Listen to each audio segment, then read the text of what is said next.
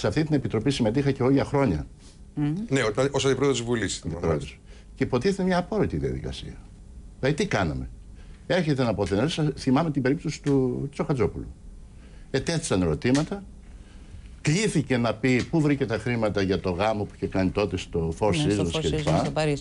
Δεν ήταν πιστικές οι απαντήσεις και ακολούθησε μια διαδικασία.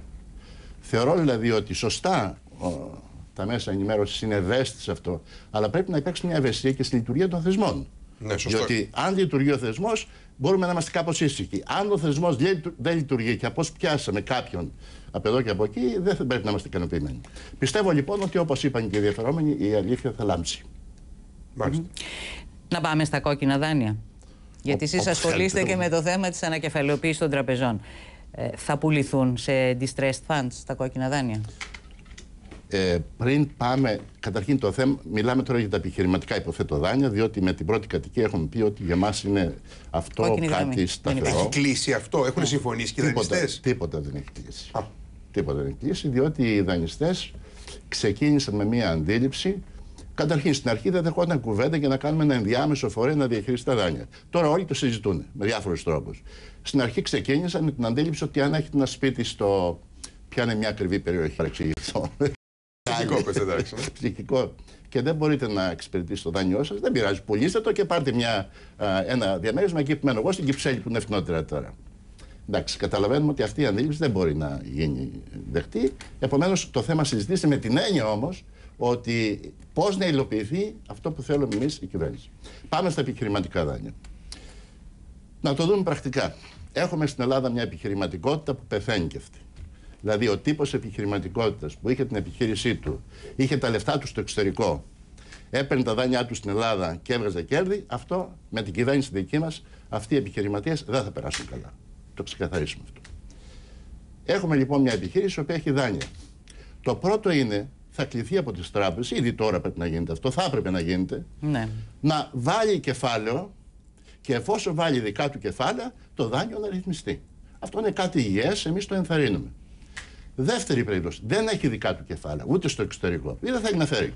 Να βρεθεί άλλος επενδυτής να μπει. να μπει; Να μπει. Και να γίνει αναδιάρθρωση. Εμάς δηλαδή μας ενδιαφέρει η επιχείρηση ως παραγωγική μονάδα ή το ξενοδοχείο ως μονάδα και η απασχόληση. Εάν δεν συμβεί τίποτα από όλα αυτά, τότε συζητείται από τον κύριο Σταθάκη και με τους θεσμούς και από την κυβέρνηση γενικότερα, συζητούμε διάφορες λύσεις. Μία και εδώ λύση θα μπορούσε να είναι να ορισμένα τέτοια δάνεια που δεν μπόρεσαν να κάνουν τίποτα από τα προηγούμενα, να μπουν σε ένα, μια επιχείρηση που μπορεί να είναι κοινή των τραπεζών ή κάποια άλλη μορφή και να μεταφερθούν εκεί και να ζητηθούν. Σαν bad bank, δηλαδή κάτι. Όχι ακριβώς, το λένε ναι. περισσότερο εταιρείες διαχείρισης ενεργητικού. Μάλιστα, Κύριε Πρόεδρε, να πω κάτι όμως. Αυτή τη στιγμή πάνω από το Άρα, μισό λεπτό να, να πούμε και το θετικό τώρα. Ναι. Από όλη αυτή τη διαδικασία, πού βρισκόμαστε αυτή τη στιγμή, να δώσω την εικόνα στον Ικά. Η Τράπεζα της Ελλάδας με τη βοήθεια συμβούλων κάνει ταξινομήσεις και κατηγοριοποίηση των δανείων ηχθειοκαλλιέργειε, τουριστικά, ξενοδοχεία, βιομηχανίες. Γίνεται αναλυτική ταξινόμηση, μεγάλα, μικρά. Το δεύτερο θα βάλει στόχους στις τράπεζες. Θα υποχρεώσει δηλαδή, τις τράπεζες να προχωρήσουν σε ρυθμίσεις. Όχι όπως γινόταν στο παρελθόν, που οι τράπεζες δεν έκαναν τίποτα ή έκαναν πολύ λίγα. Τρίτον, με τον νόμο που θα περάσουμε τώρα, το ΤΑΦΚΙ ΣΥΓΜΑ θα είναι ο θεσμός που θα ελέγχει αν τηρούνται οι κανόνες. Άρα θα μπούμε σε μια διαδικασία που τα κόκκινα δάνεια θα γίνουν πηγή ανάπτυξης. Δηλαδή, αν γίνει αυτό που έλεγα πριν, αναδιορθωθούν επιχειρήσεις. Ναι, αν βρεθούν ενδιαφερόμενοι να επενδύσουν. Αυτά πρέπει να υπάρχουν τράπεζες. Και, και να υπάρχουν και επενδυτές. Τελούν σε μια μεγάλη ανασφάλεια λόγω της ανακεφαλαιοποίησης, το capital control και όλες τις αναστάσεις που έχει προκύψει. Πότε θα λήξει αυτή η ιστορία, πότε μπορούμε να πούμε ότι είναι ο ορίζοντας αποκατάστασης μιας ομαλότητας στον τραπεζικό τομέα; Πολύ σύντομα αυτό. Αλλά μπορώ να σας δώσω μια εικόνα που εντάσσονται όλα αυτά το που πολύ κάνουμε. σύντομα μπορείτε να μας το κάνετε πιο συγκεκριμένο. Δηλαδή, εννοείται μέχρι το τέλος του χρόνου. Α, άμεσα. Ναι. Με, μέσα, στον, μέσα στο Νοέμβριο. Δηλαδή. Μέσα στον χρόνο θα λήξει το θέμα. Εάν δεν λήξει μέσα στον χρόνο, θα έχουμε πρόβλημα, διότι μπαίνει σε εφαρμογή μια οδηγία η οποία αφήνει ανοιχτό και το ενδεχόμενο κούρεμα καταθέσεων.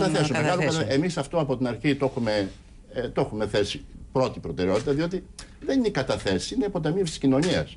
Λοιπόν, αν μου επιτρέπετε, αυτά τα οποία κάνουμε τώρα εντάσσονται σε ένα σχέδιο, το οποίο βέβαια το έχουμε, το έχουμε να προσαρμόσει με την εμπειρία που είχαμε μετά, το οποίο θέλει να βγούμε από την κρίση μέσα από τρεις φάσεις. Πρώτη φάση, σταθεροποίηση.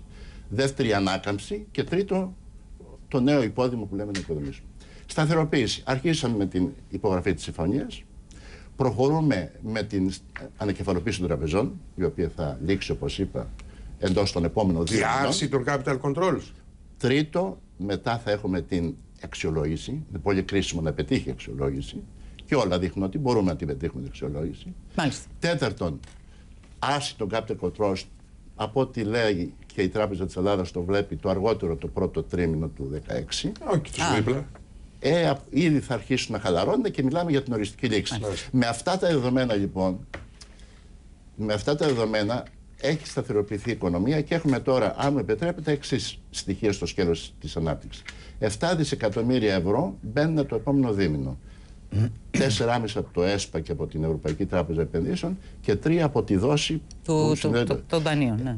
Δεύτερον, η ύφεση είναι η ποιότερη από ό,τι περιμέναμε και εγώ ακόμα είχα κάνει προβλέψεις πιο δυσμενείς. Άρα είναι ρεαλιστικό να πούμε ότι η φάση σταθεροποίησης, μάλλον το, πρώτο, το δεύτερο εξάμεινο του 2016, θα είμαστε από την ύφεση στην ανάκαμψη και από ό,τι λένε οι πιο αισιόδοξοι, θα αρχίσουμε να μιλάμε και για έξοδο στις αγορές. Αυτό είναι το πρώτο, σταθεροποίηση. Δύο κουβέντες για το δεύτερο. Το δεύτερο είναι, με αυτά θα μας έρθει μια, μπορεί να έχουμε μια ανάκαμψη, στη βάση όμως του παλιού μοντέλου. Αυτή είναι η λεγόμενη ε, επενδύσει και κατανάλωση αναστολή. Δηλαδή και τώρα που μιλάμε, υπάρχουν άνθρωποι που θέλουν να, να αγοράσουν ένα σπίτι. Θ- Υπάρχουν επιχειρηματίες που θέλουν να κα- κάνουν μια επένδυση. Δεν το κάνουν λόγω της αβεβαιότητας. Άρα η άρση της αβεβαιότητας και οι πόροι που θα εισρεύσουν θα έχουν μια ανάκαμψη που μπορεί να είναι και ισχυρή. Για δύο-τρία χρόνια. Που θα είναι ε, από αυτή τη δυναμική. Α, μ, στη βάση αυτών των δύο μετά ακολουθεί αυτό που εγώ θα έλεγα η κυριαρχία του νέου, δηλαδή αλλαγή των πάντων, η γενίκευση των αλλαγών που θα έχουν γίνει ως τότε, να αρχίσουμε να οικοδομούμε το νέο μοντέλο το οποίο, με το οποίο θα βγούμε από την κρίση. Αν δεν το αλλάξουμε το μοντέλο, θα έχουμε ανακύκλωση της κρίσης. Μάλιστα. Κύριε Αντιπρόεδρε, ευχαριστούμε πολύ που είστε ευχαριστώ. σήμερα Εγώ εδώ ευχαριστώ. στο Μέγκα. Και πάμε εμείς τώρα στον α, διεθνή χώρο να μεταφερθούμε στη Μέση Ανατολή, όπου εκτιλήσονται σκηνές φρίκης στην